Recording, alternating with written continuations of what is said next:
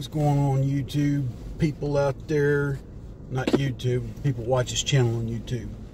As far as YouTube go concerned, YouTube monitors go eat a bag of wooden nickels. Another video quick today. Um, and nothing fancy here, but right now there are unconfirmed reports that the Secretary of Agriculture has been arrested. Um, none of the mainstream news media are posting on it, but there's been other YouTube uh, channels that are posting on it and running stories, and there's some oh, off the beaten path news articles talking about the same thing that Tom Atkinson has been arrested by the White Hats, the military, potentially for the burning of these 15 or 18 or so food processing plants.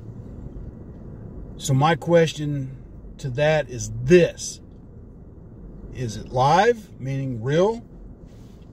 Or is this Memorex, meaning is this a psyop to throw us off or, you know, to get people to just create stuff to whatever?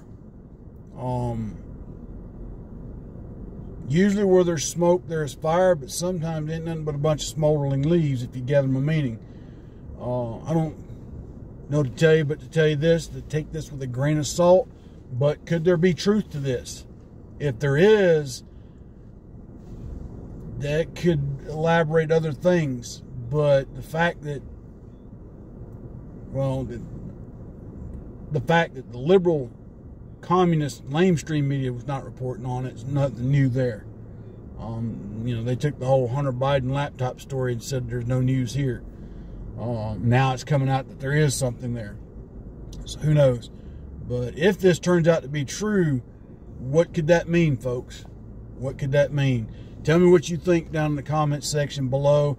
If anybody's got any links to this that's either different, counter, you know, counter to, uh, proof that it's a hoax or proof that it's real, put it down in the description below. I'm just asking the question because um, it's really kind of